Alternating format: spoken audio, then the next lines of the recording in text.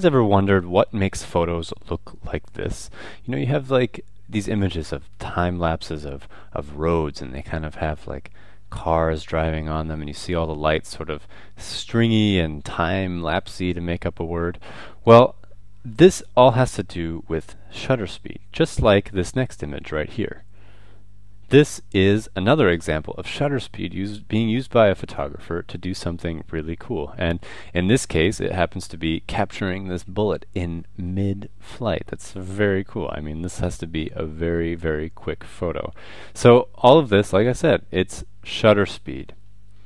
Now, this is brings up two important questions. First of all, what is shutter speed? And second of all, what determines the speed of the shutter and why do you why do you pick one shutter speed over the other? Well, for example, we're going to start um, first by explaining what the shutter does. And we're going to do it on this page because the next page I've got something kind of cool to show you. So the shutter is kind of like a window. And say, just for imaginary's sake, let's just imagine that behind that is your film. So here you've got your film or your sensor and maybe imagine that these are connected and they're not next to each other. so your light is shining through your window, boing, onto your film. But usually in front of your window, maybe you have a shutter, and that's your that's your shutter right here. And imagine when you open that shutter, the light streams in, and then you close the shutter and the light stops streaming in. And that's basically how film is developed. Light needs to fall upon the film and expose it so it can see what's going on outside of the camera. Otherwise, it can't see what's going on. Um, and then it closes again, so it c- can't go forever. It has to only has a, a, certain amount of time. It wants to just capture one tiny little instant of light, and um, that is all determined by the photographer and the camera and the meter and lots of other things. Um, so this, but this shutter speed is really important for determining the look of your photograph. So if you're wondering, this image right here is an example of a high shutter speed. So high meaning fast. So this shutter goes click and it's open and closed and story is done. You've captured your bullet, you've captured your um, smoke flying everywhere and fire flying everywhere. Pretty exciting photo, right? And the photo before that is an example of a low shutter speed or a slow photograph. Now, this image right here shows you an example of what those things look like if you were to put them all sort of right next to each other. This is actually three separate pictures that have been stitched together into one by some guy on Wikipedia who I think did a pretty cool job of explaining shutter speed with this image. So let's just imagine that this shutter speed right here is one five hundredth of a second. And maybe this one right here is a thirtieth of a second. And this one right here is a quarter of a second. So even a quarter of a second, that's pretty fast. I mean, a second is a pretty long time, but a quarter of a second's a little, a lot less. A thirtieth of a second is pretty fast, and a five hundredth of a second is very fast. And actually, if you add um, some more zeros behind this, you get into some shutter speeds that now exist these days with digital cameras that are pretty amazing. Um, but a five hundredth of a second is pretty good for capturing action. So imagine that this little daisy wheel here is spinning and in that 500th of a second, it has moved so little that it looks like it's standing still. It looks exactly like it's standing still because you've captured it's moving. It's th- that shutter speed is so quick. But in the 30th of a second, you can see that during the time that the shutter was open, so the shutter goes open, and the daisy wheel keeps moving, and then click, the shutter closes over here. So in that time, this little arm of the daisy wheel has moved a ways, and that motion is then captured in blur. That's just the color or sort of the, the impression, um, because the light is falling off of it in each one of those little thousandths of a second between when the shutter opens and closes, and it's landing on the film or on the sensor. And in the quarter of a second shot, it's going even further. It's going a lot further, actually, and so it goes shutter opens here, and then it's kind of the daisy wheel travels and travels and travels, and then stop, click, photo is done. So it's traveled quite a long, a lot longer. Um, you can see it's traveled so long that the colors have started to mix. And so that's just the principle. Why the shutter speed captures the motion that happens while it is open. And that can that generally comes in the form of some sort of blurred motion. It can come in other forms too, but in general, it's in sort of some sort of movement of the object. Now, old shutter speeds back in the day were shutter speeds were determined by springs. There used to be all these springs inside of cameras and kind of like ding ding ding. You pulled the spring so tight and it would make the shutter go so fast, and you pull it a little tighter, and it would go faster. And um, over time, the system developed itself in the way that each shutter speed, back in, on the traditional scale, was either twice as fast or half as half as fast. So basically, let's start with um, let's start with a thousandth of a second. That's the fastest image you could have taken with this camera back then, and they determined then, well, we'll make a 500th underneath that, which is one half, so that's one half the speed. Now it goes down in that pattern all the way down until you get to here where the math gets a little funny, but that's not exactly a half, it's kind of like sort of a half. But basically, as you're moving down, the shutter speeds are are cutting themselves in half, allowing twice as much light in. So um, a 500th of a second allows twice as much light in as a thousandth of a second if everything else on the camera is, stays the same, which we'll talk about that in the exposure lesson a little later.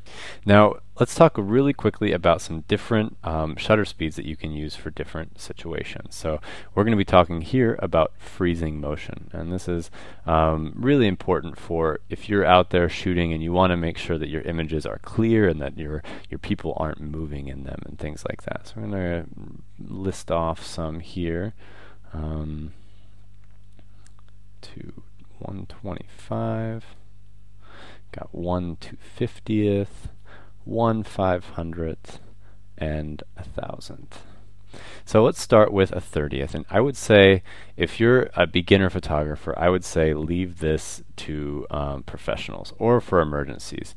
Um, this shutter speed, when you get down below a thirtieth of a second, things get really slow, and you're you're you're taking really slow photos, and any kind of motion blur, anything like that, um, is uh, is going to come up in your photos. So you want to make sure don't go quite that low when you're first starting out. Once you get a little more experience, you're welcome to it. But now, if you, you're out taking just sort of daily photos of things that aren't moving, so we call them still life, so still life portraits or um, even portraits of people, um, you can take a still life photo a 60th of a second with most lenses just fine.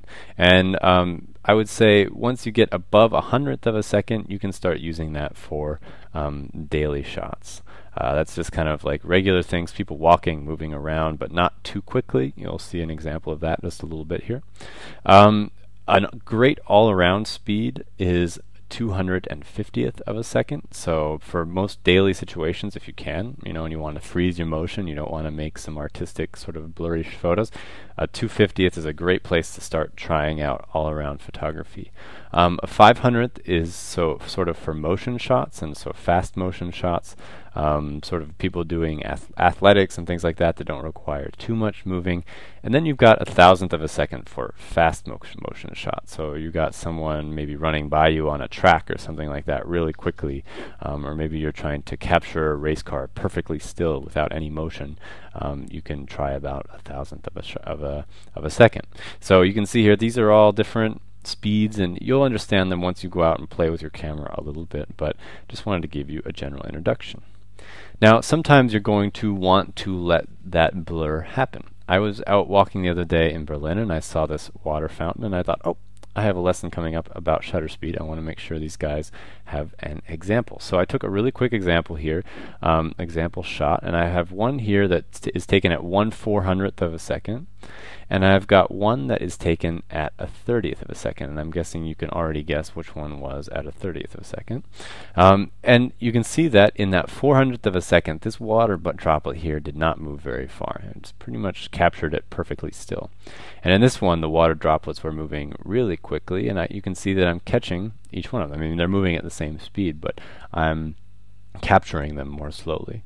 So in that 30th of a second, you can see the water moved a lot further while the shutter was open than it did in the 400th of a second. Same thing goes for the hands right here. This is um, I went to a concert of a friend of mine, Sam, who's um, playing the drum here, and you can see his hands are pretty well captured in this 400th of a second. Um, they're a little blurry if you look at the full version because his hands were moving really fast. I probably should have taken them at about a thousand, but in this small version of the picture, you don't see the motion as bad. Here you've got 1 25th of a second. and some of the pictures, his hands were moving a little more, but um, you can still see there's a little bit of motion blur there, and even on this hand in the big version, you can see that there's a little bit of motion blur. And then here I've got 1 30th of a second, so you can add ones to the tops of all of these numbers here. Um, you can see I've completely lost all detail in his hands, and you can actually see his shirt through his hands. Um, his fingers haven't fallen off, I guarantee, but um, he is just moving so quickly that the camera's not picking up his fingers anymore. And even this hand is a little blurry, which was he was holding very still at that one moment. So um, you can see here that there's just a very big difference in how the camera perceives motion according to how quickly it's taking that photograph.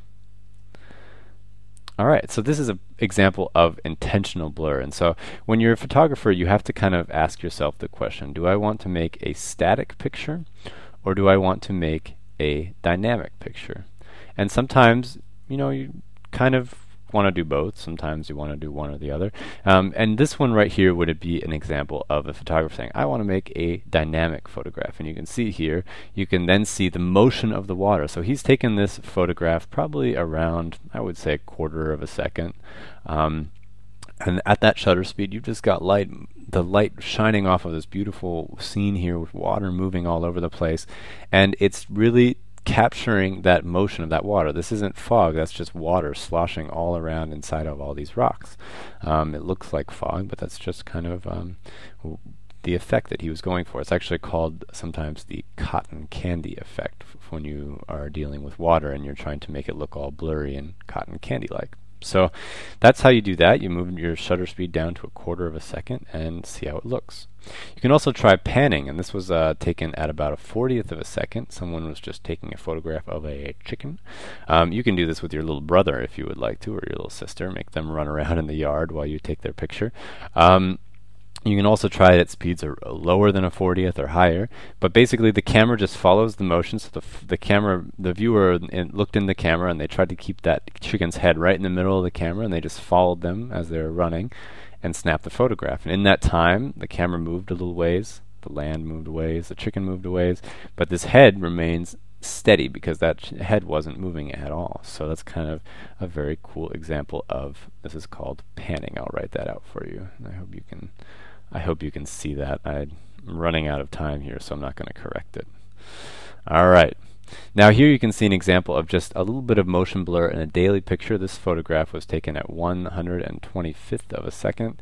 Um, and you can just see that this this happens. I thought it was acceptable for this photo to have a little bit of motion blur and that was kind of dark and cloudy, so I kind of needed that motion, but that's what it looks like.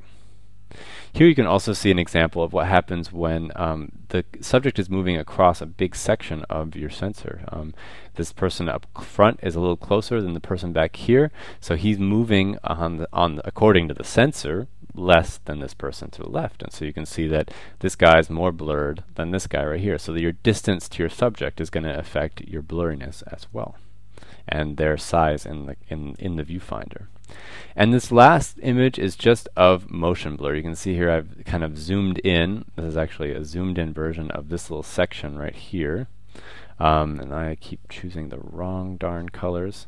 Um, and you can see here during the taking of this picture, I moved the camera a little bit. I didn't mean to. I just kind of shook my hand, and you can see that then the the image, this end image in the back, is totally blurry. And if you zoom in closely, you can see why. It's because the camera moved a little bit. So that's the danger of having a low shutter speed. That's why I advise you know messing around with less than a thirtieth of a second only when you kind of know what you're doing. Otherwise, you'll get up uh, get a lot of blurred images. Um, this image was taken at about a tenth of a second.